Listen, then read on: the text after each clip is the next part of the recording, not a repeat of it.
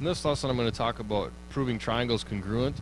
Now we've already discussed that to prove two triangles are, are congruent we have to look at the three uh, sets of angles, they have to be congruent, and the three sets of sides have to be congruent. So you have six different sets of angles and sides that you'd have to prove are congruent in order to say that the triangles are actually congruent. Now in this lesson we're going to come up with what I refer to as the shortcuts or triangle congruence theorems. The first one is referred to as SSS, referring to you know that the three sets of sides of the two triangles are congruent. And if you know that, well, the triangles, yes, in fact, are going to be congruent. So I have my whole little if green is true, then red is true here, basically saying I have these three sides here congruent to these three sides here, and when I know that, then the two triangles are congruent. If you like the actual theorem, word for word, it's down here at the bottom. Next one is referred to as SAS, standing for side, angle, side. And in this case, you have two sides in one triangle congruent to two sides in another triangle, and you have the included angle. There's that vocab of what it means uh, to be the included angle. Those two angles are congruent. And if that's the case, the two triangles are going to be congruent. Next one is the ASA. Again, we have two angles that are congruent in the two triangles and the included side. Notice that it's the included side. If that happens, the two triangles are going to be congruent using the ASA theorem.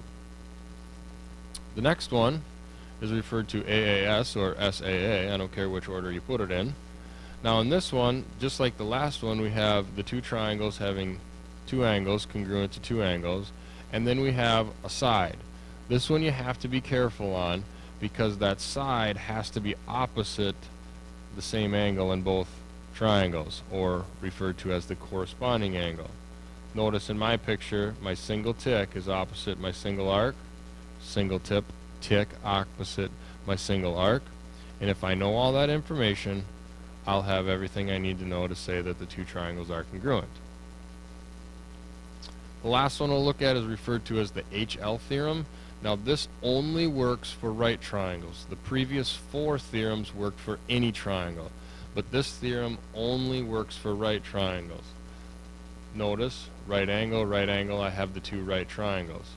And then the H stands for the hypotenuse, which means my two hypotenuses are congruent, and the L stands for one of the legs. Leg and leg are congruent.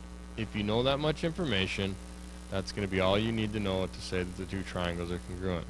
Now remember, this one only works for right triangles. And when I think of this, I still have three pieces of information. One angle, two sides, one angle, two sides. Just like the previous four had three pieces of information, it's just, this one's just referred to as HL because it only works in a right triangle, therefore you have to have a right angle in each triangle. And that's going to conclude just the lesson part of proving triangles congruent.